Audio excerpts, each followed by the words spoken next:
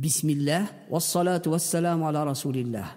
I received a few questions from people when I spoke about the age of our Ummuna Khadija radiallahu anha, Ummul Mu'mineen, when she married Rasulullah sallallahu alayhi wasallam. Many seem to be extremely surprised to know that she was not 40 when she married Rasulullah sallallahu alayhi wasallam, and many have been in Islam for 40 years and still believe it strongly. Well, the real fact is that she was not 40 years of age. So, where did this idea of 40 years come? But before going into explaining why and providing you the evidences so that you know there is some kind of Islam that is being marketed to you, but that actually it's not completely true.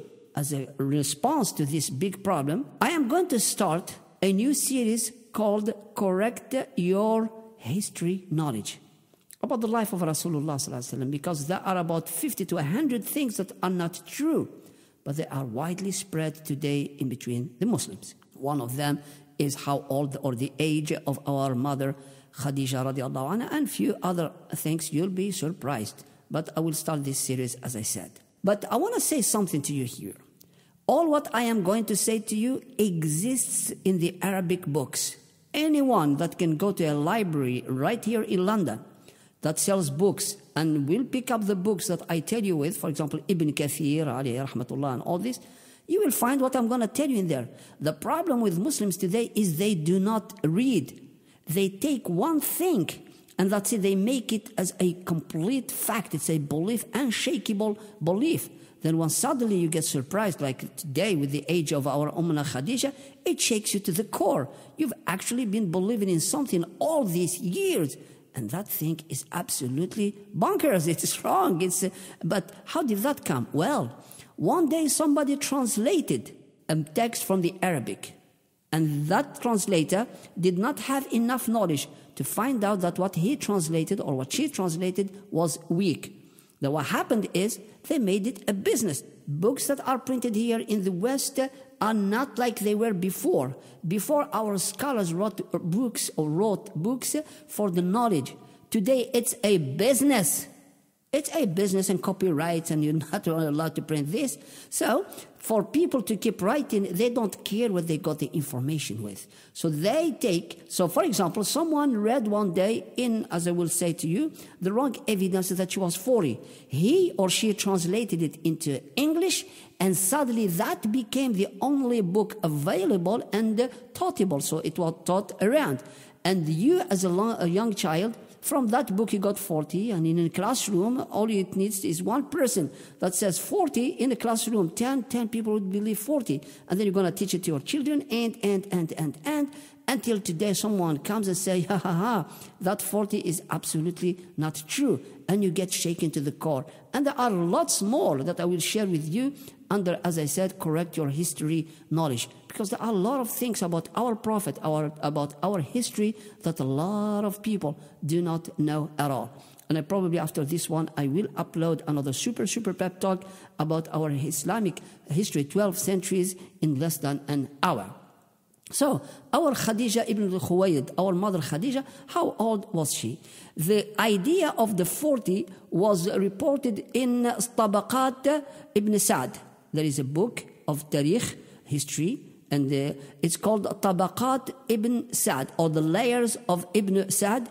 And this man, Ibn Sa'd, reported this argument of 40 from another sheikh called Al-Waqidi. So you know who Al-Waqidi is, so, who, uh, so that you know Al-Waqidi. Who is Al-Waqidi? He was born on, in the year of 130 after the migration of Rasulullah sallallahu alaihi. That is around 120 years after the death of Rasulullah sallallahu. The great Al-Imam Al-Dhahabi, which is one of the pillars of Hadith alayhi rahmatullah, he says that this man has gathered the thick and thin, the precious and the vile, and he mixed them all together.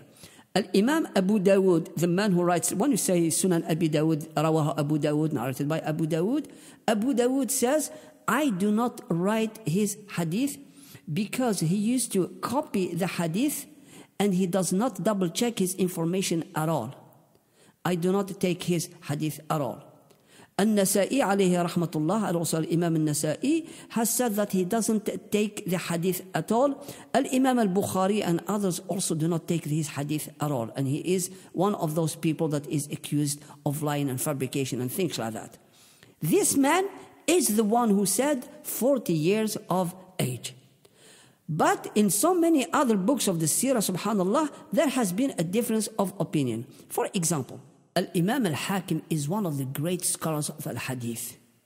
One of the students also of the great Imam of Dara Qutni, and they used to coexist in the same era as Al-Bukhari and Muslim.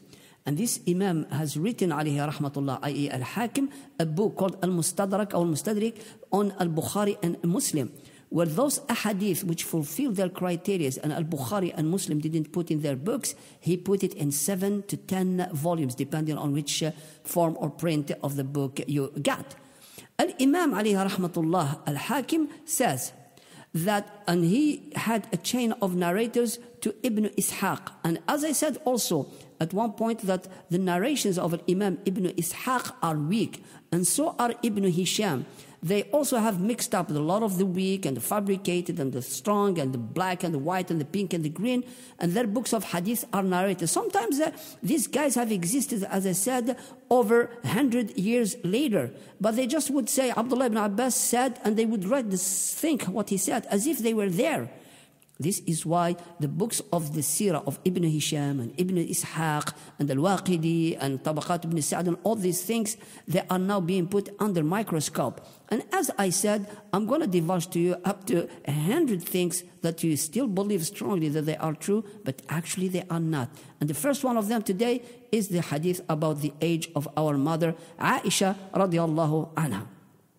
Al-Imam al-Hakim alayhi rahmatullah brought a hadith with his chain of narrator until he reached Al-Imam Ibn Ishaq عليه رحمة الله and he says وكان لها يوم تزوجها 28 سنة 28 years and he says and she had the day he married her صلى الله عليه وسلم 28 years but Ibn Ishaq did not put the chain of narrator between him to Rasulullah صلى الله عليه وسلم but Al Imam Al Hakim alayhi rahmatullah, what he did, he found another chain of narrators that goes to Hisham ibn Urwa radiallahu anha, where he spoke about the death of our mother Aisha radiallahu anha to support the argument that she died end of 27, beginning of 28. Al Imam al Bayhaqi, one of the great scholars of hadith, also wrote in his book Ad Dalail, and also he says she was in between 28 and it was also said she was 25. So you see, the argument between the great scholars of the hadith that you haven't heard of is between 25 to 28, not 38 and 40. And Ibn Kathir alayhi rahmatullah, the great man of the tafsir, all of you know Imam Ibn Kathir, he goes, and this, وهكذا نقل البيهقي عن الحاكم. And this is how Imam al-Bayhaqi has reported on the authority of Imam al-Hakim, the, uh, the one who's wrote uh, Al-Hakim al-Mustadrik, that her age was 25, between 25 to 28. My dear brothers and my sisters, as you can see here, because you have been believing there's something wrong here of the 40 years. So when the true knowledge comes that she, her age was between 25 to 28, and some scholars 27, 26, 20, but it doesn't make much difference. But as you can see here, how much of Islam that you know that actually cannot be substantiated. And believe me, there is tons of it, tons of it. This is why I'm going to start on a weekly basis a, a, talk, many talk like this one, five to ten minutes, about correcting your history, correcting the knowledge of the Sirah. So as you can see, what you are going to learn in this group is going to shake you to the ground because you are going to discover that throughout time, you have been told a lot of wrong stuff, a lot of weak stuff, a lot of nonsense stuff. And here you are today, when you are given this gift of the truth, you are feeling all, what's that? Alhamdulillah. Any sheikh worth his weight in gold or salt or whatever it is, just let him go. And I've given the, the evidences in Arabic. If he is an Arabic reader, he will find these evidences. Alhamdulillah, no big deal. My big problem is with those Arabic-less Islam uh, so-called sheikhs, non-Arabic English only Islam. I call them EOS. English only, no Arabic uh, sheikhs. This is the problem. Those who copy, paste, those who read in a book and they don't even have the tools to double check the knowledge from the roots. And most of the ignorance that we have in WhatsApp, ignorance, the WhatsApp of knowledge that we get in WhatsApp is absolutely detrimental for the love of Allah. Stop just taking clips or these cut things or Allah says in the Quran this and in English. All these are statements of disbelief and major sins. For the love of Allah, stop. Our mother Aisha radiallahu anha, to the closest of uh, the speculations of the uh, Shuyukh rahmatullah, was between 25 to 28, or as some of them said, late 27, beginning 28. I pray to Allah subhanahu wa ta'ala that this is enough and this will should set your heart at rest. This is your brother Abdul Salam Abu Hanifa.